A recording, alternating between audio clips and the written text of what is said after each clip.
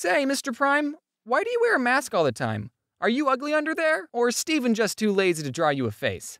Like, how are you supposed to drink with that thing on? I suppose the same way you're holding that mug without any fingers.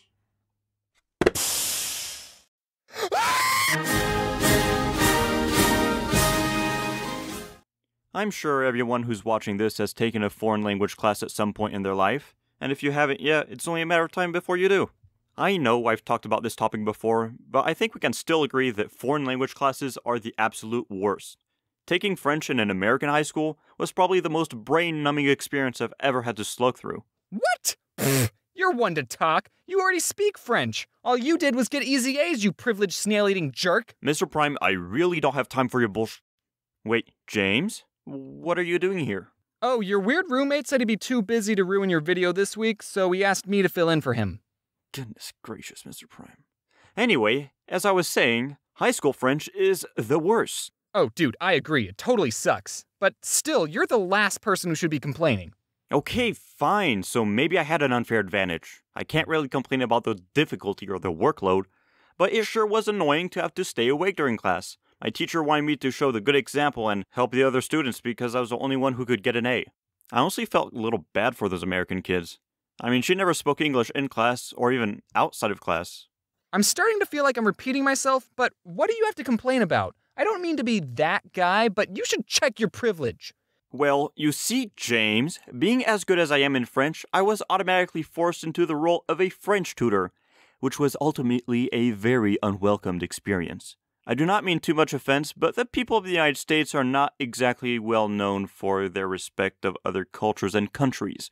What? That's not true, you Frenchy snob frog eating loser. Oh, wow. I stand corrected. I don't know if this was actually the case, but I'm pretty sure my teacher would just round up all the failing students and send them my way. Like, oh wow, you suck at my class? Well, go to this guy. He speaks French. That's the equivalent of a teaching degree in America. Hey, punk, do my homework. I'll admit that I was not the greatest tutor in existence, but I can't help it if Americans twist my language in naughty ways.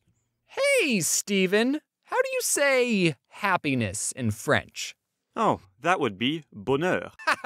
you said boner. yeah, hilarious. Okay, how do you say a seal? Come on, Steven, I know you know this one. Ah, uh, fuck. Wow, Steven, I'm trying to learn French here and you just cursed at me. What the heck? What the frick, man? What? No, I'm not saying fuck. I'm saying fuck. Oh, fuck, my bad. So wait, are you trying to tell me if a shark took his girlfriend to the club and wanted to order some seal, he'd say, Becky, you want some fuck? That is not what I'm trying to tell you, but wait a second, is that a seal clubbing joke? Maybe. I mean, you can always get some fuck if you go clubbing, right? Remember, kids, if anyone catches you saying the F word, just tell them that you're practicing French. So, we would rarely get far during those tutoring sessions, but I still have to admit that even after all that, I was actually looking forward to see their progress in class. Oh, by the way, Steven, I kinda wasn't paying attention during the tutoring, so I just sorta plagiarized the whole assignment off the internet. What? Actually, you know what? I'm not surprised. Selon toutes les lois canus de l'aviation, il n'y a aucun moyen de Billy devra pour voler. I hate you so much. For anyone wondering, that was James's attempt to read the Google translated version of the Bee Movie script. P.S. He didn't do so well. You know what? I'm gonna stand by what I said. Tutoring was terrible, and my classmates were even worse. I low-key got my revenge on movie days because there were no subtitles, so I was the only one able to understand them. Ooh. Oh, one time in my ninth grade French class, we were watching a movie called My Father's Kingdom, and in the movie, there was just a little boy's penis. And it wasn't like being hidden, it wasn't like shot at a weird angle. There wasn't something in front of the, the penis to like cover it up and censor it. No, it was just the camera was just fully focused, head on, straight at his penis. And, and, no one was expecting it either. We are all just watching a movie. Ah, this is no big deal. We're a bunch of ninth graders. And then boom, there's a penis. And everyone started freaking out like, are we going to talk about that? What, what's the deal with French people and their genitals? Am I right, everyone? we're, we're not weird. With that said, take the time to learn about other cultures, you know, keep an open mind and see what other countries have to offer. Uh, the only country that matters is America. Whatever. Overall, I do not miss taking French one bit. There was just so much pressure put on me to get straight A's and never make a mistake, because if I did, I'd never hear the end of it. Come on, I'm only human. My tongue can slip regardless of the language I speak. I'm not perfect. Don't worry, Steven. I'll forgive your mistakes. As long as you wear your seatbelt. Aw, that's really sweet of you, James. Yeah, French people are alright.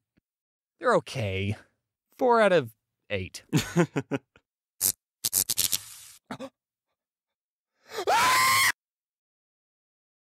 wow, hey there. Nice to see you made it till the end of my video. I don't know where Mr. Prime is, but I do want to give a quick thanks to my good friend James for filling in for him. Merci beaucoup, mon ami. Also, I do want to thank you, dear viewer. If you're new here and enjoyed what you saw, please consider subscribing. I've been revamping this whole channel for the past few videos, so let me know what you think about the aesthetics, the presentation, and all that stuff. Alright, that's all you're gonna get from me, so bon appetit!